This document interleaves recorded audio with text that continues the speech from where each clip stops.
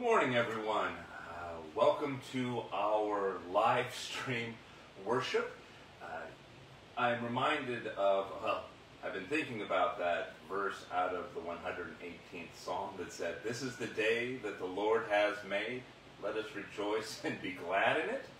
Uh, even when it's a negative 20 degrees outside and with the wind chill a negative 40, this is still the day the Lord has made. We're going to rejoice, but we're going to rejoice in it from the warmth of our own homes. And so I am simply glad that we have an opportunity still as St. James and all who have chosen to come and be a part of this worship experience, uh, that we have a chance to simply find God even in the blessings of modern technology. Want to share just a couple of quick announcements with you uh, as we continue into our worship experience. I can promise you um, there isn't going to be any music because it's just me, and we all know that my singing skills are not stellar, but um, just a couple of other announcements to share. Uh, first is to recognize tomorrow is Martin Luther King Jr. Day, and so St. James will be honoring that. Uh, for those of you who are part of Janet Wilberger's Bible study, uh, you're not going to start tomorrow. We're, that's going to wait one more week. So if you have any questions, I know Janet's watching right now. Uh, reach out to Janet, and uh, she'll be sure to, to chat with you about it. But we're going to wait, I guess, one more week. Uh, that being said, there is also no finance committee tomorrow night. So if you are part of the finance committee, uh, we're going to bump that. Uh, watch for Tammy. Uh, Tammy's watching as well. And we'll be reaching out, letting you know what to anticipate. And then also, our Wednesday nights. I'm hopeful that uh, we'll be back to, to normal this Wednesday, which starts with tone chimes and dinner and children and youth activities and adult study as well as uh, the chancel choir and so practice. And so uh, please make sure to note all of those as we get started back to what I'm hopeful. I'm, I'm looking outside at the winter wonderland that it is and just hoping that by then maybe we'll see some positive numbers on the uh, temperature scale. But to get started uh, this morning, uh, I'm going to invite us to, as I say at 9.30, to take that breath. Simply breathe. Take whatever the world has been trying to, to stress you out with, burden you with, force you to think you have to carry it on your own. Just, just breathe. Let that, exhale all that out. Let God back into those lungs. Just take that moment just to breathe.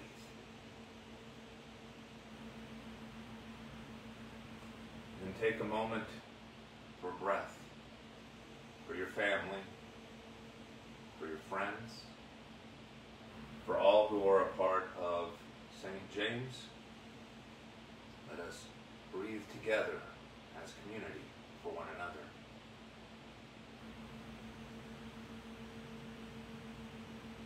And finally, let's say a breath and take a breath for, ourselves.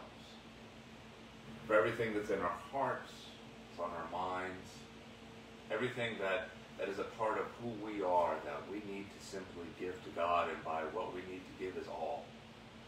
Take this moment now, simply to be in that moment of, of quiet meditation, to lift up all that is there to look for that peace and that wisdom, for the forgiveness and the salvation.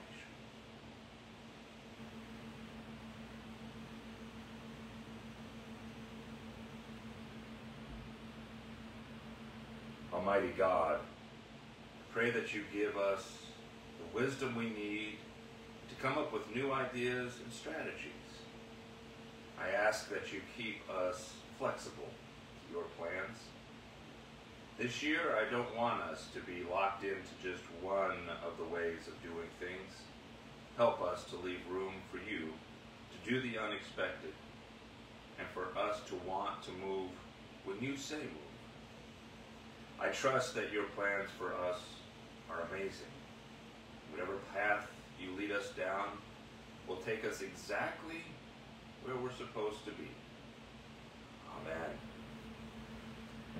if you have, uh, normally we'd have the ushers grabbing up those blue sheets and bringing those in. Uh, please feel free to email any of that, uh, or feel free to, to text or send in those those prayer requests, the joys, the concerns, anything that you would like to have uh, the staff, the pastors know about. Please make sure to, to let us know, make those a part of our prayers throughout the week as well.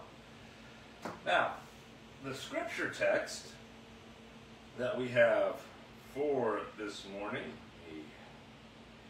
get there, is one that if I were to tell you we're going to be reading a story about the leper, you would be thinking of the, the one that gets a lot more press, the, the ten lepers that, that often gets read. But in Matthew's gospel, there is also the story of Jesus healing a leper. It, it, it doesn't get as much uh, reading, it doesn't get shared as much. But this morning, it is the focus uh, of our scripture text. It's Matthew 8, 1 through 4. Hear now God's word for us. When Jesus came down from the mountain, the crowds followed him. And behold, a leper came to him and knelt before him, saying, Lord, if you will, you can make me clean. And Jesus stretched out his hand and touched him, saying, I will. Be clean. And immediately his leprosy was cleansed. And Jesus said to him, See that you say nothing to anyone, but go. Show yourself to the priest and offer the gift that Moses commanded for a proof to them. I heard a funny story about this couple. They were celebrating their 60th birthday together. Just so happened, born on the on the same day of the same year, and, and always just enjoyed their birthdays together. And on their 60th, as they were celebrating and everybody was together, the, the angel of the Lord appeared before them and said, You two have been so wonderful together, have done so many wonderful things together. I'm, I'm here to offer and provide for each one of you your own individual wish. The wife said, Well, angel of the Lord, I, I wish that my husband and I, that, that we could travel the world together. And with that, he goes, Your wish is granted. And poof, in her hands are, are tickets that allow them to, to travel the world, to see all of the amazing things. The angel of the Lord turns and looks at the husband and he notices the husband is, isn't quite looking up quite so much at the, at, at the angel. And angel of the Lord says to the husband, Well, what is it you wish for? Husband said, Well, that really wasn't what I was thinking for. He goes, Well, uh, my wish is that I was married to a woman 30 years younger than me. The angel of the Lord said, As you wish. And poof, the man was 90. so, be careful what you wish for. In our gospel lesson this morning, I think it's important that we all start out by realizing and recognizing that if you had leprosy back in Jesus' day, even to this day, it, is a major medical issue. But back then, uh, you weren't allowed to be in the cities. You weren't allowed to be in the towns. You, you weren't allowed to live even with, with your family anymore. If you were found to be unclean with leprosy, you had to go and live within those colonies, within those communities. And the only way you could come out is if you could prove to the to the church, literally to the, the Pharisees, that, that you had been cleansed. That was the only way you were allowed to go back to living your way. And for almost everyone, that, that rarely ever happened. What's interesting about our text today is it points out Jesus is coming down the mountain, which, for those of us who are wondering what that means, Jesus has just done Sermon on the Mount. Okay? Fifth chapter of Matthew, blessed, you know. And, and as they're coming down the mountain, which means Jesus isn't in a town, he isn't in a city. He's simply out in the country preaching. And it's with that that that this leper was able to get close enough to be able to hear Jesus. He, he, he couldn't be in, in the crowd. He, he, he wasn't allowed to do that. Community laws forbade him from doing that. But as he was there and able to hear, you, you know, there were those, even within his circle, that were saying, oh, we can't get too close. Oh, you know, we shouldn't be here. You know, people are going to start pointing out that, that, that this is wrong. We, we shouldn't be standing this close. We, we need to back up. We need to get away before anybody notices us. But he stays and he listens. Not only listens, but he hears and he understands. He understands because as soon as Jesus comes walking down, even though he hasn't gotten close enough yet to Jesus, he starts calling to Jesus. He starts asking because he knows Jesus is the Messiah. He knows Jesus is the Savior. And he knows that Jesus can heal him of his leprosy. He knows that all he need do is simply call out to him. And he does. He said, Lord, if you, if you will, you can make me clean. He had faith as, as an individual, a, a belief in that even though everybody else was saying, don't do that, don't go there, don't, don't try that, he was willing to, to take that step. To, to break through that barrier, if, if you will, that, that bond that society sometimes tries to, to place on us. He, he's willing to, to let go of all of that, to break through that, to ask Jesus to perform this miracle. And what happens? And Jesus stretched out his hand, which means at some point in the midst of this leper saying that to him, their distance has closed. They have gotten close to one another. They're, they're, they're literally, they're so close, Jesus literally then reaches out to him, recognizes this man's faith, understands what this man is asking for, and with that, he reaches out and says, I will. I will make you clean. And he reaches out and he heals him. What an amazing thing. Because, you know, in that day, in that age, you, you, if you were clean, if you did not have leprosy, touching a leper was, even if you didn't show signs, you then had to prove to everyone that you were not a leper. And you see, Jesus wasn't held to that barrier, to that to that societal bond. He, he, he knew what he had the ability to do, and what he had the ability to do was to heal, was to show mercy, was to show love and compassion and, and, and forgiveness. And he reaches out and he says, I will. What an amazing statement. It, it's not, hey, when there's not tens of thousands of people around us and nobody's really looking, yeah, come on back over and, and I'll do that. No, he goes, I will. And in that, he makes him clean, touches him. What's interesting, though, is, is what Jesus says to him next, and it, it, it shouldn't be lost on that.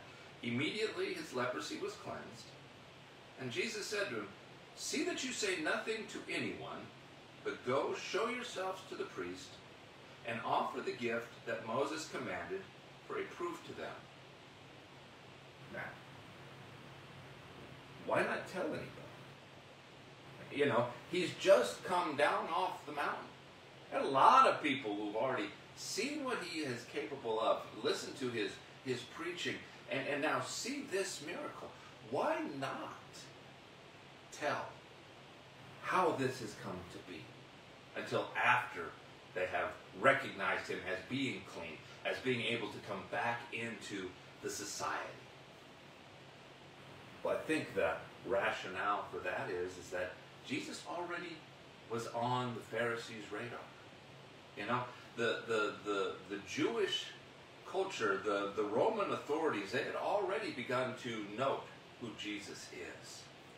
And so I think what Jesus was trying to say to, to this leper, now clean, was don't tell them how this has come to be. Because if you do that, you might not get the proof that you need. You may not get the, the seal of approval because they won't give it to you simply because you said, well, that guy Jesus healed me. And so they may not let you back into town even though you're healed, even though you're clean. They may not give that to you simply because of the fact that I'm the one who healed you. And, and so with that, the man goes and presents himself. And, and I mean, this goes all the way back. Jesus is saying, you know, we got to go all the way back to Moses. That, that's how old the rules are, even though we're thousands of years past that. We still have to live by, by this until the moment that I show you we don't have to live by that anymore. But within that barrier that society had placed, Jesus even understood to break through that barrier, to release that bond of leprosy. They still had to, to do this particular piece. When we come into today, there are these barriers, these, these bonds society still tries to put on us. And, you know, I don't know how many of you uh, remember this phrase, but uh, my, my family loves to, to point out that I remember just about every catchphrase that ever existed. But there's that one, if you could only walk a mile in their shoes. You know, the thing about that is, is that the invitation is there. It's metaphorical, obviously. Because the simple truth is no one is necessarily walking in our shoes. Our path is our path. How we journey, how we walk is, is unique to each one of us. It, it, it is that unique reality of even how God has created each one of us in terms of how unique we are. The journey is just that unique for each one of us. And, and so I would invite us to think about that, to, to, to, to recognize that our journey is unique. I came across a story that I think kind of helps bring the, the leper story in, into the modern day. And there's a story of a boy named Jack. This is a true story. Will not make light of what happens to him, especially at the beginning. Jack was a sixth grader at the time and was waiting for the bus and in the midst of a, a tragic accident, the bus hits him, breaks both of his legs, does significant damage to his legs. They, they get him to the hospital and begin to, to work through the process of, of healing Jack's body. Well, as they are in the hospital and as they're taking that time, the, the doctors and the nurses begin to tell Jack and, and Jack's parents he's going to come back to a, a full recovery. It's, it's going to take a long time. But there's no reason, excuse me, there's no reason to believe that Jack isn't going to be healthy and whole again. Well, as much as Jack was hearing that, as much as Jack's parents were healing, hearing that, Jack's parents were dealing with their own guilt of not being at that bus stop, as if somehow they could magically back up and, and protect Jack, and they were dealing with their own guilt and, and, and, dealing with wanting to make sure their son was cared for and, and healed.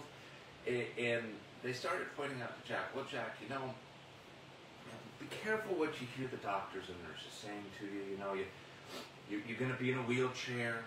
Um, you know, you, are not going to be able to play your favorite sport, soccer. You're not going to to go out to recess and, and play. You, you, you may not be able to do those things. But the doctors and the nurses kept saying, you're going to be fully healed. But they came, Jack to get to leave the hospital, and, and as they're wheeling Jack out, mom and dad have been talking about how to, to help Jack, to take care of Jack, and, and they had decided, mom and dad, and, and again, as a parent, we all, as, as, adults, for the children that we care for and love, whether they're biological or, or children that our parent or that God has brought into into our lives, nieces, nephews, neighbors, uh, all of those children, those who are, we may teach at school, you know, they had decided they knew what was best for Jack, and what they decided was best for Jack was the mom was going to be a stay-at-home mom, and she was going to just homeschool Jack. That that hearing a bus might send Jack back into these negative post-traumatic experiences, and they didn't want that for Jack. They, they also didn't want Jack going to school for, for fear of being bullied and, and kids making fun of him and, and Jack feeling bad that he couldn't get out of the wheelchair.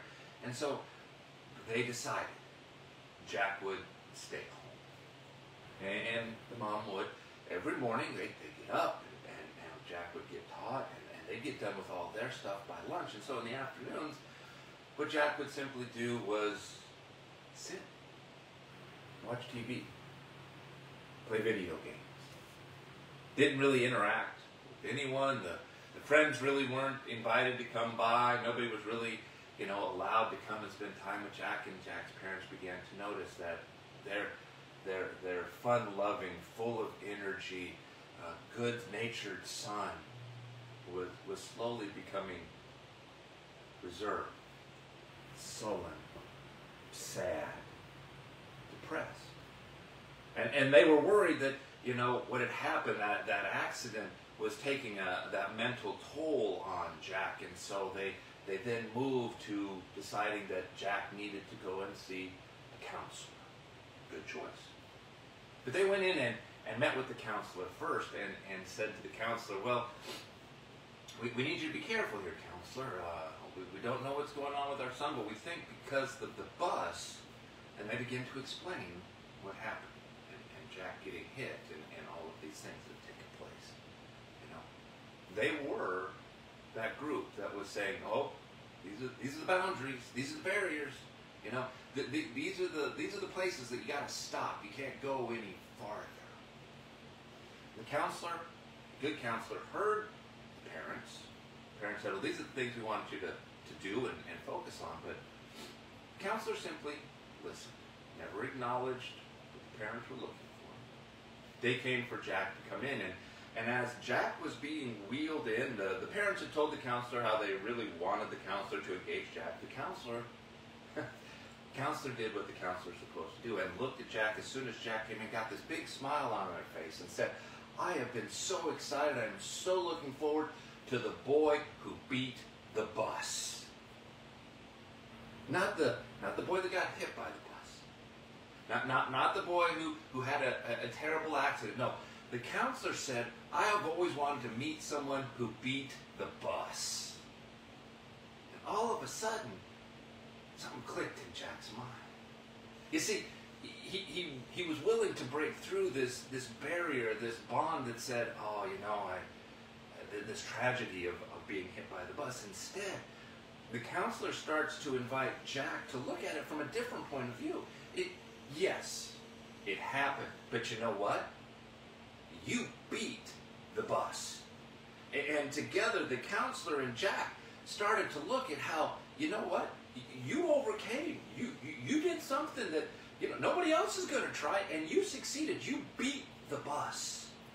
And they began to, to write a, a book and, and, and presenting Jack in, in, in actually a superhero kind of way. You know, that that whatever his favorite comic book character was, Batman, Superman, you know, Green Lantern, Green Lantern, whatever it was, Aquaman, but started to, to present him as the one who not only survived it, but he beat it, he overcame it, and he was finding a new path in life because of it, and, and had created this book.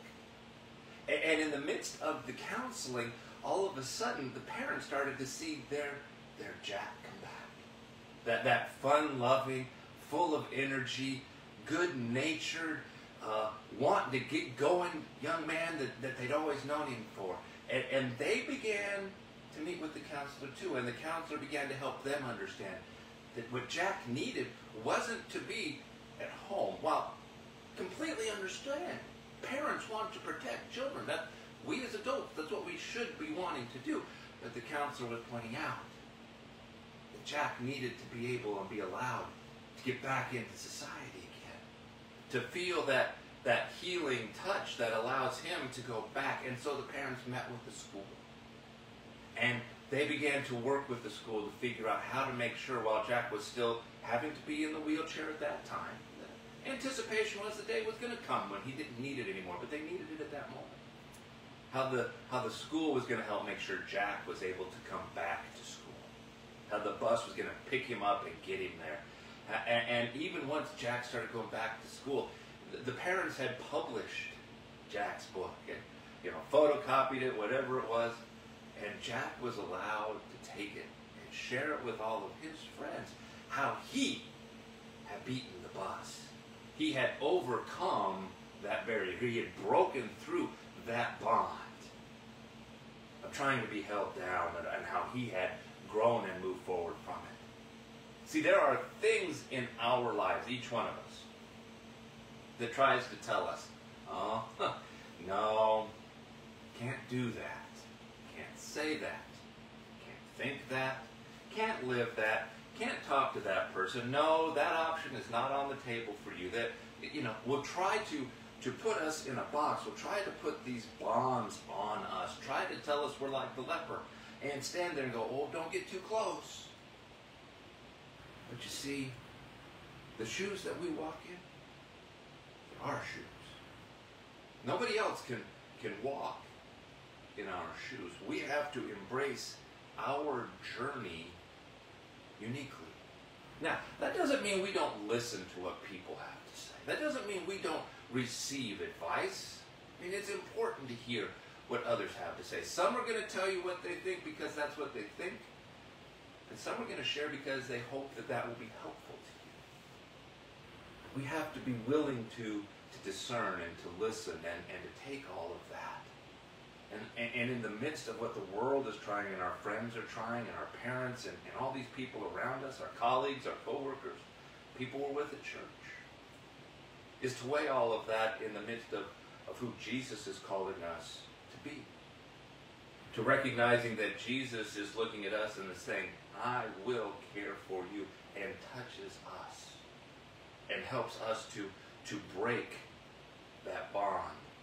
Because see, the danger that we run into is, is that if we don't engage Jesus, we'll get caught up in, in, in like Jack. We'll get in that, that self-pity and, and we'll think, you know, I can't do it or I won't do it or, or we just lose that person that we all know, that, that, that shine in our eyes. You know? Let me remind us that even in the midst of a great day, self-pity will try and come and get us. And when, when those things start to try to happen and we remember we are walking in our shoes, remember the gratitude. Have gratitude for where we are right now. It, it can be very little. I mean, it, it can be as simple as, hey, we're on we're on live stream right now. We're, we're having worship together. Maybe not in person, but you know what? I'm grateful that we are a community that gets together even right now find those things that, that Christ has placed into your heart to let you know the greatness of who you are, of the amazing things that you can do. That while society might try to tell you this is who you are, this is what you can do, this is what you can't do, Christ is saying, I am making you right. We together can do all things good and great. Together, we move forward.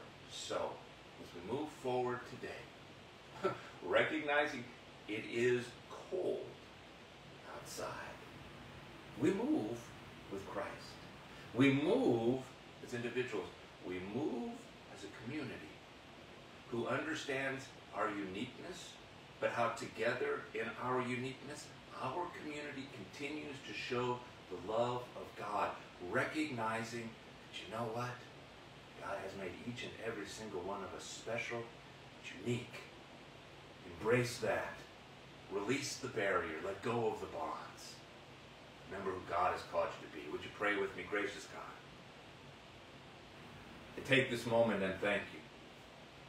I thank you that, that you have called us and created us and made us and, and have put thoughts and ideas in our minds, in our hearts have given us a faith that lets us understand that as we come into this new year, as we continue moving forward into who you call and create us to be, we embrace that. We don't get locked into one thing, but we continue to be all things that you invite us to be. We be your children. Amen. I hope you all have a wonderful and great day. Have a wonderful week. I, Pastor Michelle Crystal, all of the staff, look forward to seeing you again next Sunday. I'm hoping it's a little warmer. You don't have to count on me and my ability to do technology. We'll be blessed with, with music and, and voices and our opportunity to be together in our, in our sanctuaries again. Have a wonderful and blessed day.